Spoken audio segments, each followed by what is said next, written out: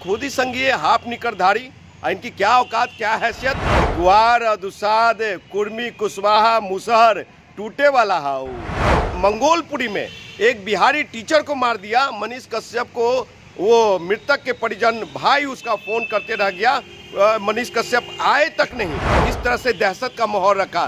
तमिलनाडु का उन्होंने जिस तरह से दहशत गर्दी किया भाजपा के इशारे पे संघ के इशारे पे नहीं तो मनीष कश्यप में हिम्मत नहीं हो सकता। है हम 2024 का लोकसभा चुनाव लड़ रहे हैं। हरा के दिखा दो आज चिराग पासवान को भी मैं जो चिराग समर्थन दे रहे हैं इनको मनीष कश्यप को तो भी आ जाए हाजीपुर या चाचा भतीजे को भी देख लेंगे। देखिए भारतीय जनता पार्टी का जहाँ से फंडिंग हो रहा है ना साहब वही फंडिंग हो रही है मनीष कश्यप का। यूट्यूबर मनीष कश्यप की गिरफ्तारी हो गई है इसको कैसे देखते हैं आप? देखिए यूट्यूबर्स मनीष कश्यप वाकई में वो पत्रकार के लायक नहीं रहे। और रही बातें कि जो भारत के संविधान में पत्रकार का जो अधिकार क्षेत्र है मीडिया का जो अधिकार है उस अधिकार को भी उन्होंने उल्लंघन करने का काम किया है। और वो चैलेंज करते हैं कि 2025 में तेजस्वी यादव को मुख्यमंत्री नहीं बनने देंगे। तो आपको बता दें कि ग्वार अदुसाद कुर्मी कुशवाहा मुसहर टूटे वाला हाउ तो आपको उनको भी अगर वो चुनाव लड़ने जाएँगे मनीष कश्यप तो उनको भी इन बहुजनों का वोट लेना होगा और प्रणाम करना होगा। नहीं तो वो चाहते हैं कि हम किसी को छोटा किसी को बड़ा दिखा करके और हम राजनीति कर लेंगे। ये बताइए ये कहाँ से प्लांट है साहब? आपको बता दें इनके पास 42 लाख रुपया आया कहाँ से अकाउंट में? ये इतने बड़े बड़े अपने पब्लिसिटी के लिए होर्डिंग लगा कहाँ से रहे आपको बता दूँ कि 2022 का जो एमसीडी चुनाव होने जा रही थी जनवरी फरवरी की घटना बता रहा हूँ। वहाँ पे मंगोलपुरी में एक बिहारी टीचर को मार दिया मनीष कश्यप को वो मृतक के परिजन भाई उसका फ़ोन करते रह गया मनीष कश्यप आए तक नहीं। तो आपको बता दो और हम जैसे दलित नेता का वो बाइट लेना पसंद नहीं करते हैं तो वो पत्रकारिता क्या करते हैं साहब? आपको तो मैंने बुलाया नहीं आपने कहीं न कहीं हम में कुछ प्रतिभा देखा।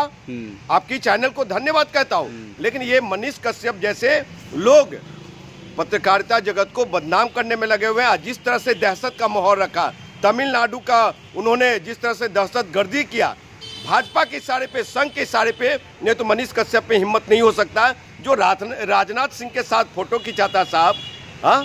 और ये क्या बोलते बड़े बड़े बीजेपी के नेताओं खुद अपने आप को कहता है कि मैं संघी हूँ तो ये खुद ही संघी है, हाफ़ निकरधारी।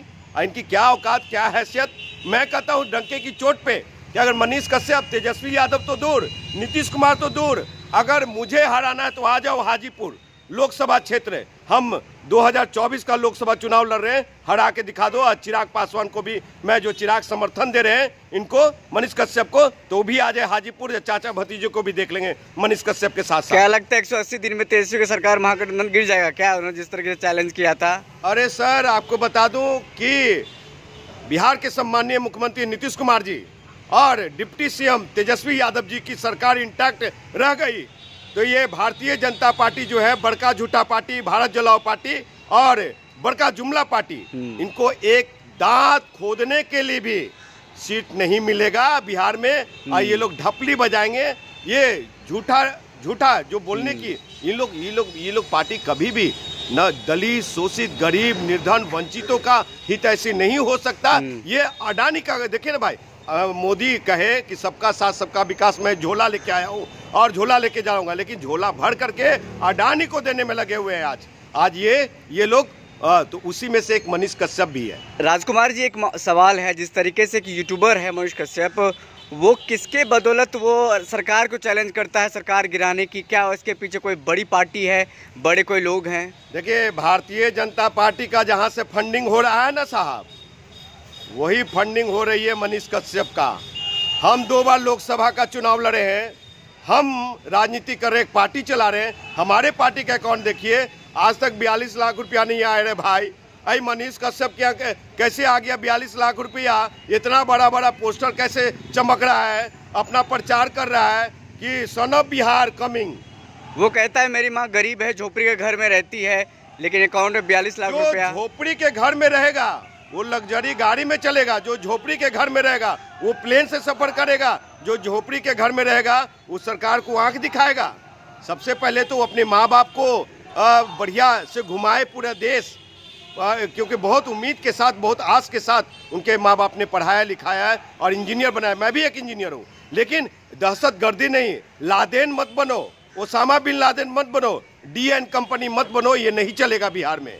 मनीष कश्यप जी, और आपको बता दूँ कि ऐसे पत्रकारों को बैन कर देना चाहिए और उनकी चैनल को हमेशा के लिए बंद कर देना चाहिए। ठीक।